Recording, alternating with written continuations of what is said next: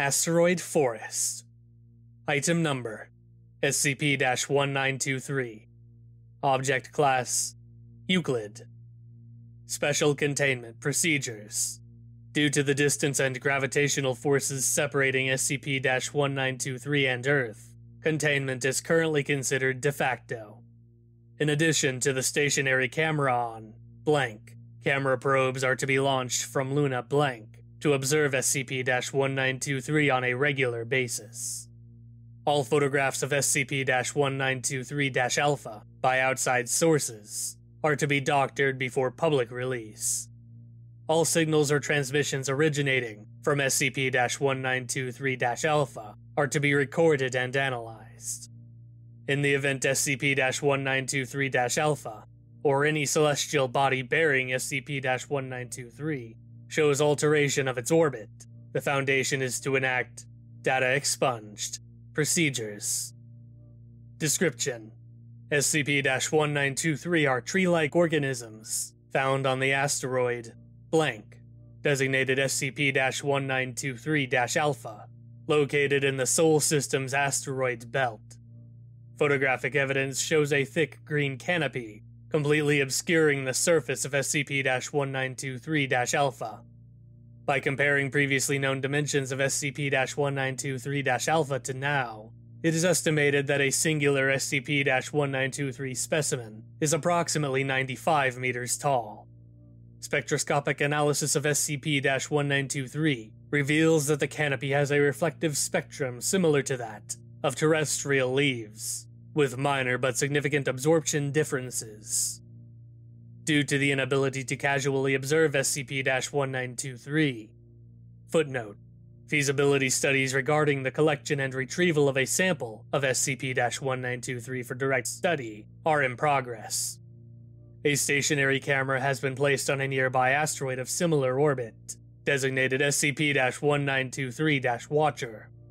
As of this date, the Foundation is not capable of providing high quality photographs of either SCP 1923 or SCP 1923 Alpha.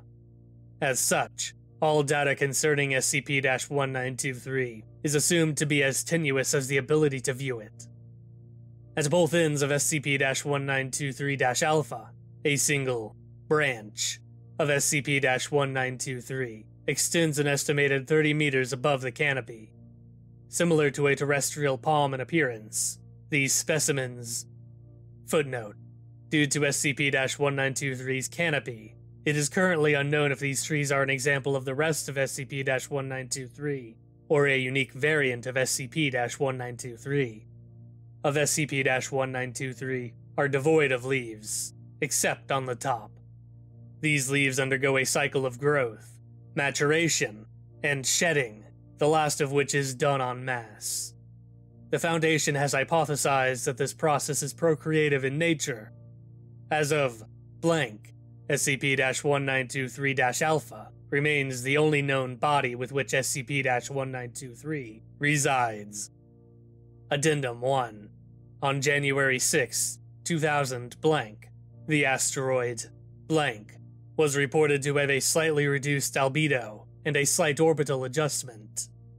Orbital projections show that said asteroid would have been behind the asteroid bearing SCP 1923 during a shedding cycle.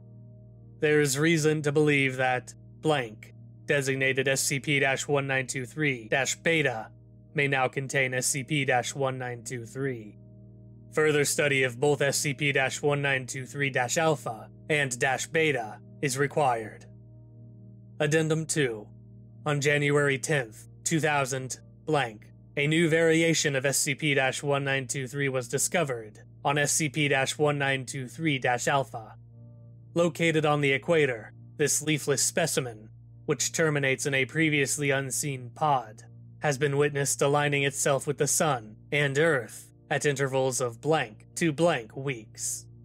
Related to this discovery, Foundation staff have noticed a slight increase in expunged during times in which the specimen was aligned with Earth.